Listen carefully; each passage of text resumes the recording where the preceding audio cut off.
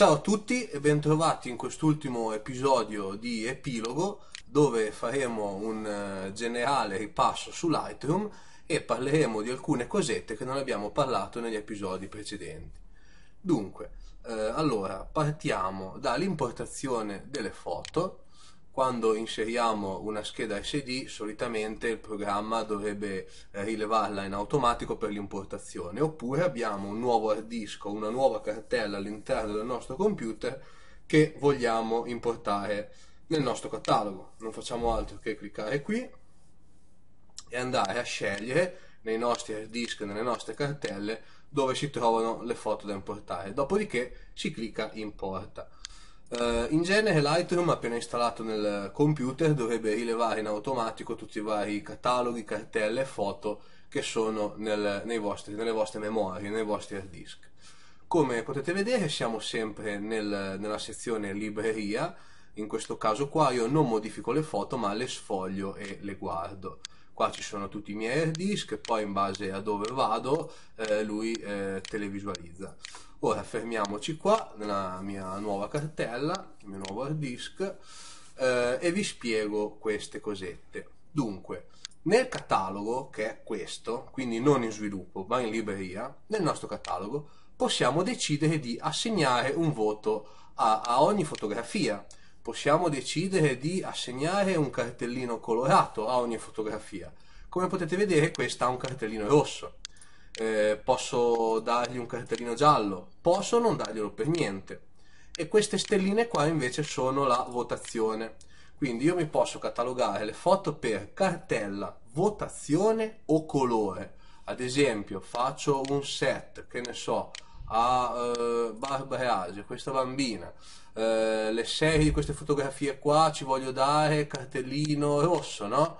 E facciamo così eh, quelle in primo piano ci voglio dare cartellino verde, me le posso catalogare in questa maniera. Ora io ve lo faccio vedere proprio molto veloce per farvi capire la funzione. Questa foto mi piace di più, e allora ci do 5 stelle, questa è venuta male, ha un micromosso, eh, 3 stelle, eccetera, eccetera. Questa è la catalogazione. Sì, eh, questo è il modo eh, con cui si compone, ma come funziona? Poi a che mi serve? Perfettamente.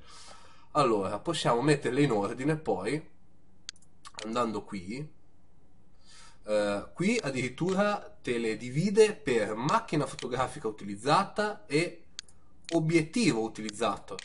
Questo proprio lo fa in automatico Lightroom, che si tratta di un JPEG, che si tratta di un RAW, qua potete vedere tutte le foto fatte col 1750, tutte le foto fatte col 35, tutte le foto fatte da D5003 o quelle fatte da D3002 una volta selezionate queste cose qua, si possono selezionare le etichette da noi prima messe. Fammi vedere solo quelle rosse, fammi vedere solo quelle verdi e così via. Eh, benissimo, eh, questo ve l'ho spiegato. Eh, il catalogo anche un'altra eh, maniera di visualizzazione. Oltre a vedere le miniature qua in basso, qua nella parte principale centrale possiamo decidere di vedere la nostra foto a tutto schermo proprio eh, come nello sviluppo. Cliccando due volte si torna indietro, quindi clicchiamo due volte sulla foto per ingrandirla, clicchiamo due volte per tornare indietro, sempre in libreria. Eh, come potete vedere, anche quando la foto è ingrandita, abbiamo la possibilità di dare i nostri cartellini, come vedete la visualizzazione è molto più chiara in questa maniera qua, abbiamo le stelline, eccetera, eccetera. Abbiamo la possibilità di variare lo zoom per vederla meglio, cose che comunque siamo abituati a fare in sviluppo dopo, e, e così via. Dunque, eh, detto questo, eh, passiamo allo sviluppo e andiamo avanti con il nostro ripasso. Allora, torniamo un attimo indietro, carichiamo delle foto corrette.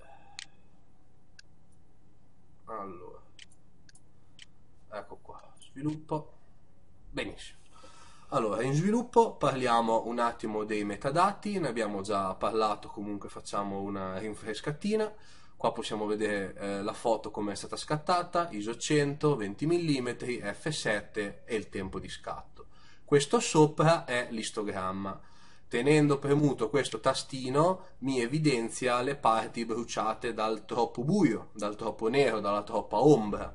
Tenendo invece premuto, cioè premendo solo col sinistro, eh, la selezione automatica, questa parte qua, come potete vedere, è diventato rosso qua dentro. Cosa significa? Significa che queste parti sono state troppo esposte, sovraesposte dalla luce e quasi bruciate. Quindi come al solito noi abbassando le luci andiamo a recuperare. Questi due eh, diciamo caselline possono, possono essere attivate o disattivate. Eh, l'importante è che non le tenete sempre attivate perché in uno sviluppo fotografico possono rompere le scatole. Allora detto questo eh, parliamo del, del lentino il lentino è questo che vediamo in alto a sinistra eh, a cosa serve. Dunque, ora siamo nella visualizzazione a tutto schermo. Come possiamo vedere c'è adatta o riempi, ok? Per vedere la foto a pieno. Quando noi con il nostro cursore premiamo sulla foto una volta con il tasto sinistro, si va ad effettuare uno zoom. Nel lentino qua vediamo dove ci spostiamo nella nostra foto. Ma come facciamo a decidere quanto zoomare quando premiamo il lentino? lo decidiamo da questo pannello. Queste qua sono le dimensioni. 2 a 1, eh, 3 a 1, più grande ancora. Questo è un super zoom, lo possiamo vedere anche da qua. Quindi, eh, così siamo normale, quando clicchiamo andiamo in zoom e possiamo decidere di quanto avere il nostro zoom. Diciamo che generalmente quando si lavora le foto, quando si ha un 1 a 2, va benissimo. Quindi risoluzione normale 1 a 2 o anche un pelino di più magari, ecco. Eh, così vedete già troppo comunque si usa giusto quando andiamo ad agire sui dettagli sulla riduzione del rumore che vogliamo proprio vedere la nostra foto realmente a dimensione grande cosa, cosa è successo ok parlato del lentino parliamo della duplicazione di un'immagine eh, e di cosa succede quando ne eliminiamo una dal nostro catalogo sia in libreria sia in sviluppo abbiamo la possibilità eh, di eliminare o duplicare le foto. Tenendo premuta una foto, la selezioniamo così normalmente, premiamo il tasto cancel della tastiera e abbiamo la possibilità di rimuoverla. Se facciamo elimina da disco, eliminiamo proprio il nostro file, il nostro NEF, il nostro JPEG, lo cancelliamo proprio dall'hard disk.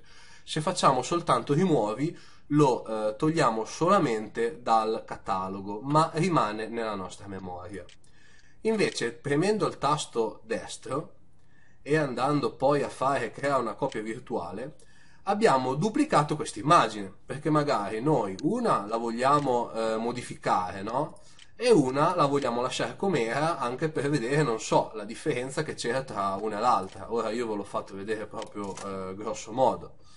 Una eh, eliminiamo Un'altra cosa molto importante che po- possiamo eh, vedere e parlare eh, di questo catalogo, tasto destro, modifica in, come abbiamo già parlato in riduzione del rumore, abbiamo la possibilità di installare dei plugin extra, magari anche di altre case, eh, per lavorare le nostre foto, come ad esempio il Color FX di eh, Nick Software che ha dei filtri molto carini di colori, luci, bianco e nero, eccetera, eccetera. Quindi facendo così noi non facciamo altro che creare una copia virtuale in automatico della nostra foto e la va ad aprire e la vedete, eccola qua, e la va ad aprire e la, lavorare nel, eh, nel nostro eh, programmino esterno.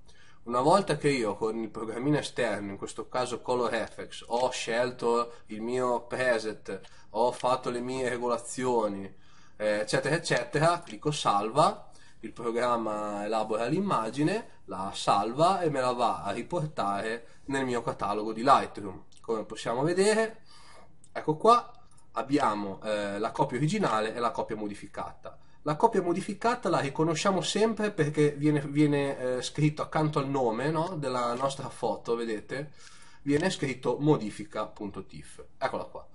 E crea proprio un duplicato. Ok, eh, detto questo, passiamo eh, a parlare della filigrana. Eh, dunque, quando noi eh, abbiamo da applicare una nostra firma, non facciamo altro che durante la fase di esportazione andare a cliccare filigrana. Eh, la filigrana ovviamente dovrebbe essere un file PNG a sfondo trasparente già preparato in precedenza magari che ne so su Photoshop e quindi caricato su Lightroom. Si va a scegliere la nostra filigrana eh, e si fa esporta. Ma eh, come si decide la filigrana in Lightroom? Allora, allora si va in modifica, modifica filigrana si aprirà questa pagina dove in automatico lui ti crea una semplice filigrana. Se la filigrana non ci piace, scegli, andiamo a cercare un file PNG a sfondo trasparente nel nostro computer che vi siete preparati in precedenza, ad esempio io queste firme qua, eccola qua, me la, me la importo in automatico, eh, decido dove far apparire la filigrana nell'immagine, se a destra, a sinistra, al centro, decido la grandezza della nostra immagine, della nostra firma. E fatto questo io salvo queste impostazioni, ci do un nome, quindi firma eh, basso destra e crea e la vado a salvare. Quando poi farò esporta, ah, ho sbagliato, clicca.